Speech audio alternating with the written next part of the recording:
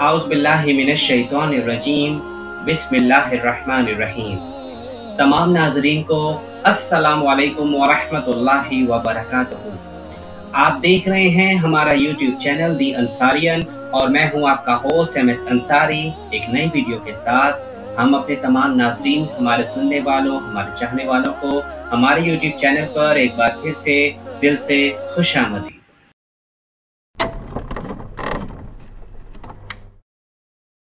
सही बुखारी की हदीस नंबर 1246 में इरशाद है कि हमसे अबू मुअम्मर ने बयान किया। उन्होंने कहा कि हमसे अब्दुल वारिस ने बयान किया। उनसे अयूब ने उनसे हमीद बिन बिलाल ने और उनसे हज़रत अनस बिन मालिक रज़ी अल्लाह ने, कि नबी करीम सल्लल्लाहु अलैहि वसल्लम ने फरमाया कि जैद ने झंडा संभाला, लेकिन वो शहीद हो गए। फिर जाफ़र ने संभाला और वो भी शहीद हो गए।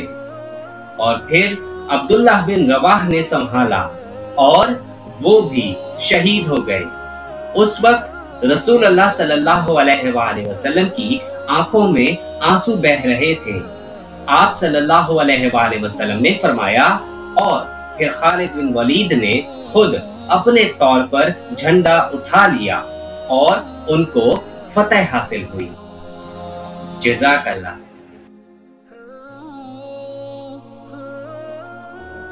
अगर आपको मेरी वीडियो पसंद आए तो इसको लाइक करें और अपने दोस्तों के साथ शेयर करें। कमेंट सेक्शन में हमें अपनी राय का इजहार ज़रूर करें और हमें यह भी बताएँ कि आपको हमारी वीडियो कैसी लगी। इससे पिछली अहादीस सुनने के लिए हमारे ऊपर आई के बटन पर क्लिक करें और आप सुन सकते हैं वो तमाम अहादीस जो इससे पिछली हैं। तो चलिए मिलते हैं अब आपसे बिल्कुल एक नई वीडियो के साथ। तब तक के लिए अल्लाह हाफिज। लेकिन जाने से पहले आप सबसे एक बहुत छोटी सी इल्तमास कि अगर अभी तक आपने मेरा चैनल दी अंसारियंस को सब्सक्राइब नहीं किया तो उसको ज़रूर सब्सक्राइब करें और घंटी के निशान को दबाना बिल्कुल मत भूलें, ताकि हमारी कोई भी नई आने वाली वीडियोस के बारे में आपको सबसे पहले इत्तला मिले। इसके अलावा आप हमें फेसबुक इंस्टाग्राम और लिंक्डइन में भी फॉलो कर सकते हैं। तो चले मिलते हैं अब आपसे बिल्कुल एक नई वीडियो में, तब तक के लिए अल्लाह हाफिज। अस्सलाम वालेकुम वरहमतुल्लाहि वबरकातुहू।